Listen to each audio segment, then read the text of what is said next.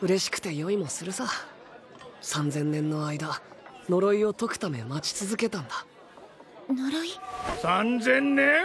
そんな人間いるかね？妖精族や巨人族でも。ええ伝説の女神族や魔人族でも3000年は生きられまいよね。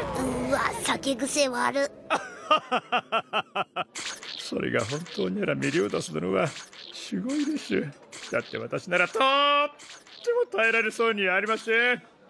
自分で死ぬか誰かに殺してもらっちゃう。全部試した。え？でもな呪いがそれを許さねえんだ